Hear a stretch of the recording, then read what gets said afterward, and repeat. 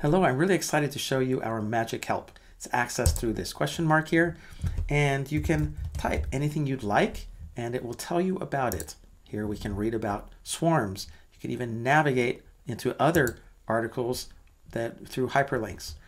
You can learn um, you know, specific information about any aspect of the system, and you can navigate to parts of the system as well. So here, Swarm 1 Connections 1 but that will actually take us to that connections object. Very handy to get around the app. Maybe you're interested in our templates, so you'd like to know how to do a radar chart. And this will tell you exactly how to get at the template and then what that template is. You get it through the new visualization button.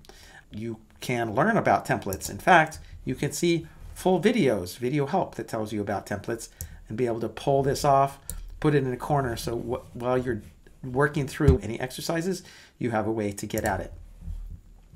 You can get to help through these little question marks. They pull up different aspects of the product and it can take you to articles. Say you'd like to learn more about our integration with Python.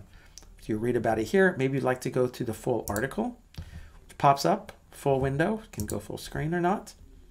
And in this case, it actually shows you the exact program you need in order to do the Python integration.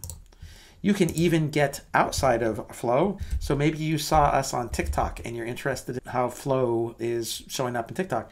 Well, this can take you a link to the data guy and it jumps to his actual website so you can learn about him.